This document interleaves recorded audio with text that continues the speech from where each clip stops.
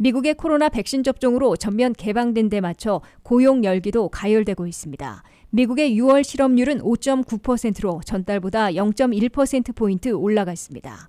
그러나 6월 한 달 동안 미국 경제에서는 무려 85만 개의 일자리를 증가시키는 고용 호송적을 냈습니다.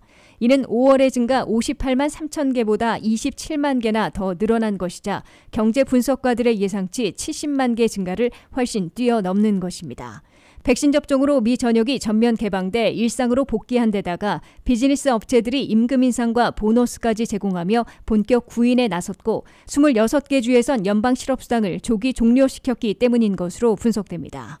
6월의 업종별 고용 상황을 보면 생산 분야에서는 제조업이 1만 5천 명, 광업이 만 명을 늘린 반면에 열기를 보여온 건축업에선 7천 명을 줄여 대조를 보였습니다.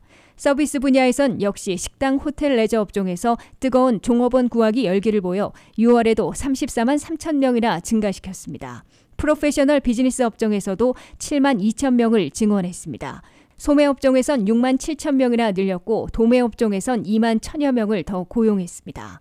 교육에서 3만 9천 명을 늘린 반면 강세를 보여온 헬스케어 업종에선 1만 2천 명을 줄여 희비가 엇갈렸습니다. 정보 업종에서 1만 4천 명, 수송 저장업에서 1만 천여 명을 늘린 데 비해 재정 활동에선 1,000명을 줄여 대조를 보였습니다.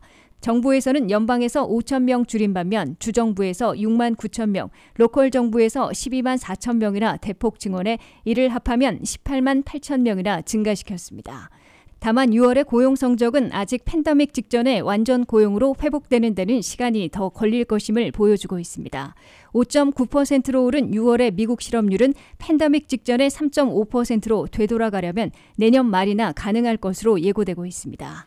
또한 미국 내 전체 일자리도 팬데믹 직전에 비하면 아직 713만 개나 적은 수준입니다. 연준은 물가보다는 고용 지표를 보고 통화와 금리 정책을 조정할 것이라고 강조하고 있어 6월의 고용 개선에도 불구하고 올해 안에 제로 금리를 올리거나 채권 매입을 중단하는 돈줄 재기는 단행하지 않고 내년 후반에나 고려하게 될 것으로 예상되고 있습니다.